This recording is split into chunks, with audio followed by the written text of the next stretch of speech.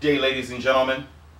I would like for today's video, Jeremiah chapter 11 in the Septuagint, to show the world we had no scare.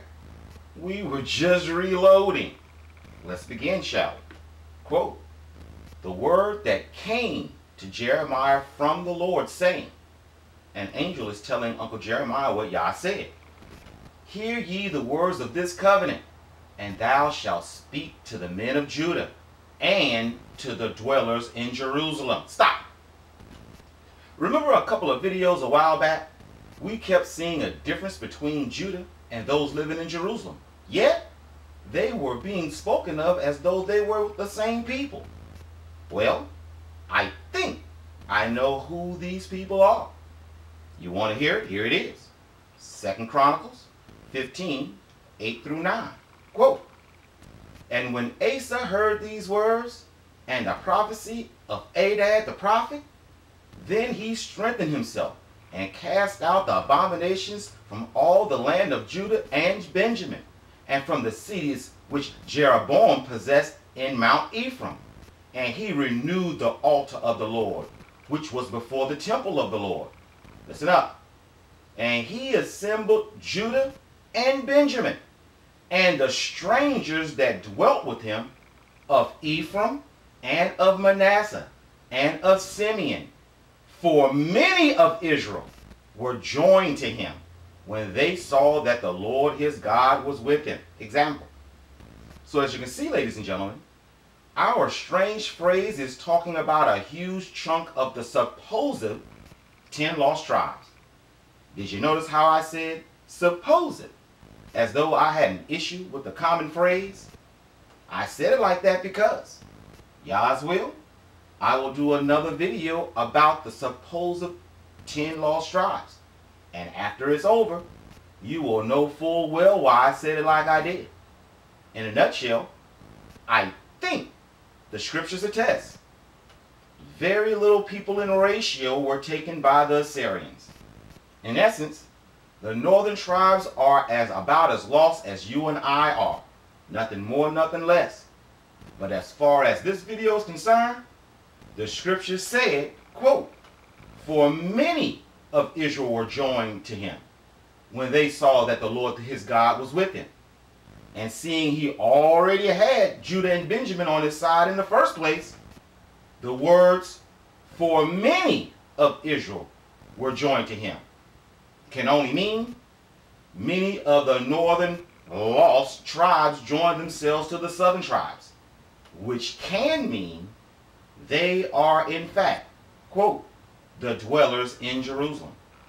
But hold me to my 10 tribe theory. I will let you know when I get the green light from Yah. But let's continue with Uncle Jeremiah, shall we?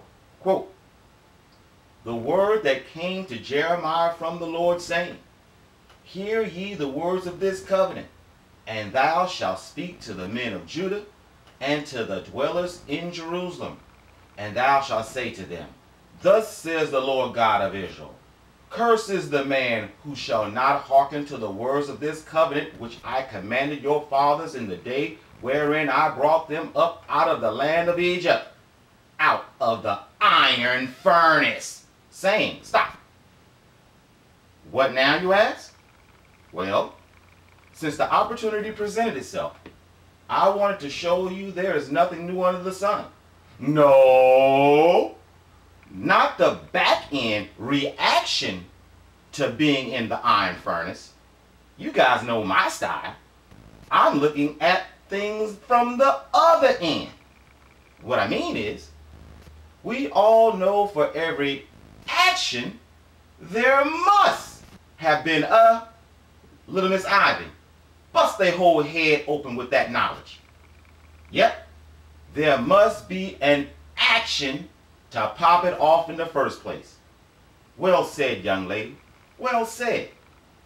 And what was the action that resulted in hard bondage that would make me think there was nothing new under the sun? You got it. Exodus 1, 6 through 12 in the Septuagint. Quote, And Joseph died, and all his brethren, and all that generation, And the children of Israel increased and multiplied, and became numerous, and grew exceedingly strong, and the land multiplied them. And there arose another king over Egypt, who knew not Joseph. And he said to his nation, Behold, the race of the children of Israel is a great multitude, and is stronger than we. Stop. Two things. First, this is the second time we have read scripture that confirms we are a race of people, just like the Africans, Chinaman, and the glorious white man are a race of people. Black is not black. And second, that particular race of people didn't have more people than the Egyptians. They were just stronger and simply more awesome than the puny Egyptians. Any light bulbs going off yet? But let's continue to see if there are any more similarities, shall we? Quote, And he said to his nation, Behold, the race of ch the children of Israel is a great multitude, and is stronger than we. Come then, let us deal craftily with them, lest at any time they be increased. And whensoever war shall happen to us, these also shall be added to our enemies. And having prevailed against us in war, listen up, they will depart out of the land. Stop. Me read that again. Come then, let us deal craftily with them, lest at any time they be increased, and what's, whensoever war shall happen to us, these also shall be added to our enemies. And having prevailed against us in war, they will depart out of the land. Stop. So as you can see, the reasoning for oppressing us was to have us remain in the land. Notice Notice, losing the war is not the focal point here at all. The main focal point is to keep us in the land. Why? On the spiritual side, for everything happens in the spiritual first, the evildoers needed more time to pollute the exact same land Yah promised to our granddaddy Abram with Nephilim just like the Israelis are doing in our promised homeland now.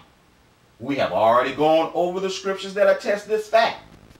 Now, on the physical side of things, I've told you before, all of the hooping and a hollering over border security, thus more border patrols is nothing more than getting their people into position with the American people's fingerprint on the order.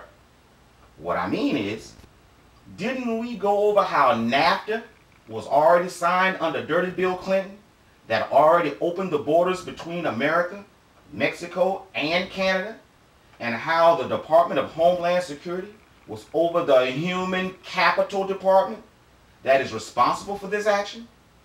Yep, they already have signed treaties that require countries to supply workers as needed. Let's not even start talking about how the war on drugs was designed to give you blacks felonies, which can only mean they can never leave the United States. But wait, people on the East Coast, let me hip you on to something those in the Midwest, etc., deal with. We have absolutely no perception about. Did you know there are federal roadblocks set up all throughout the Midwest highways? Yep, I did an entire video series on it. Been operational for years now. I said all of that to say, if I look at the end time scenario in real time with my scripture glasses on, the extra border patrol and immigration bloodlust the evildoers have engulfed the white man in, has the ultimate design to keep you coloreds in and not keep the beaners out. But wait! Just like in America, nothing is successful without so-called African Americans spending all of their disposable money on or in it. There will be no America if we were to leave this place under this capitalistic system.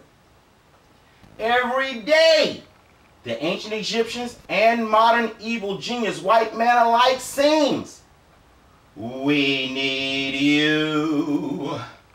We need you.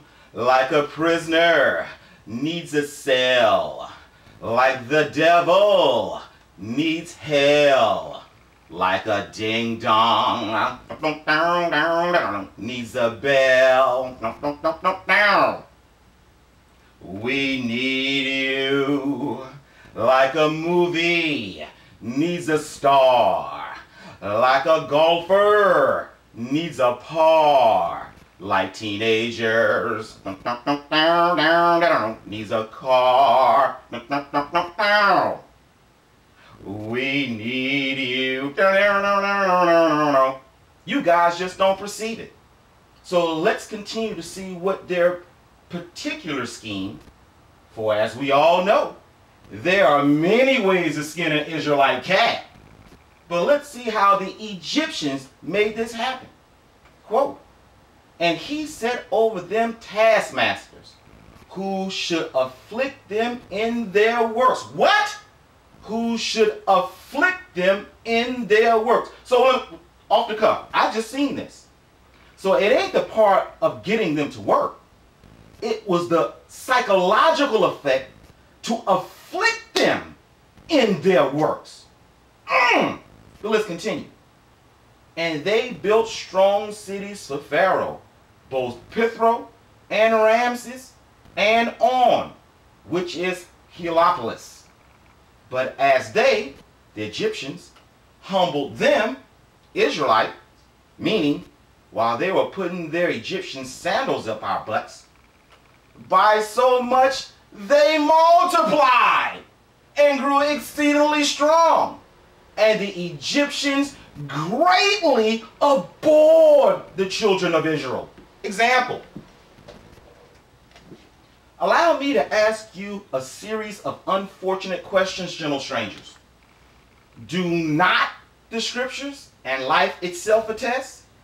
These Gentiles are dealing craftily with us? do not the scriptures, history, and life itself attest?